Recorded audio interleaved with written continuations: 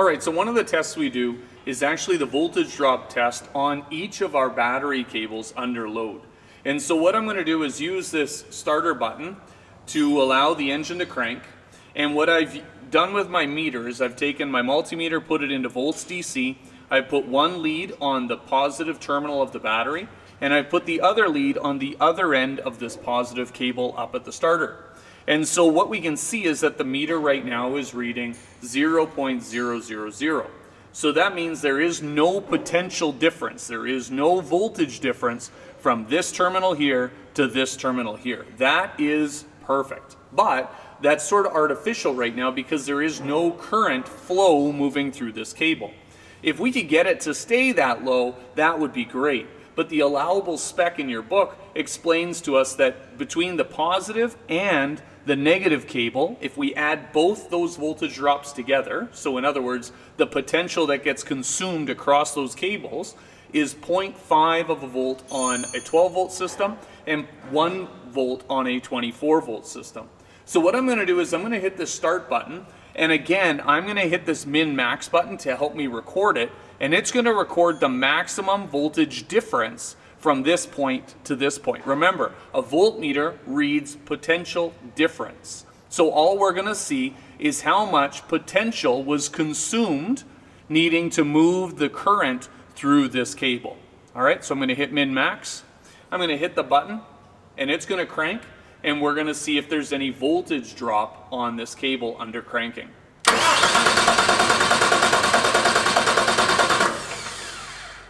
All right, so we can see the maximum voltage drop on this cable under cranking was 0.245.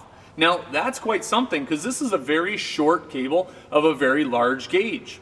But that says, so we're going to do this same check now. I'll move my lead and I'm going to take it off of the positive side and I'm going to put it on to the negative lead of our starter.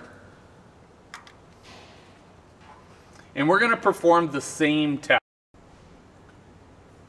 Alright, so we just finished checking the positive lead and now what we're going to do is check the negative lead. So I moved the voltmeter leads to one end of the battery, the negative cable, the black cable that's going to the motor terminal here, the to the ground terminal of the starter.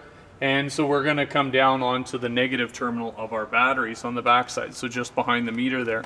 And again, we're going to read the potential or the change in voltage across the cable.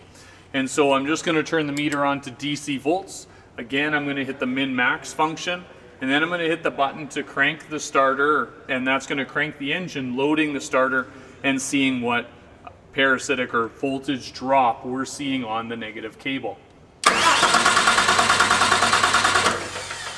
So now we can hit the min-max button and we see that the voltage drop on the negative cable, the maximum was 0.195. So we add that to the 0.245 we add on the positive cable and we ended up somewhere in that uh, 0.440 volts. So our allowable loss on our positive and negative cable on a 12 volt system is half, so 0.500. So a 0.440 voltage drop on our positive and negative is allowable and within spec.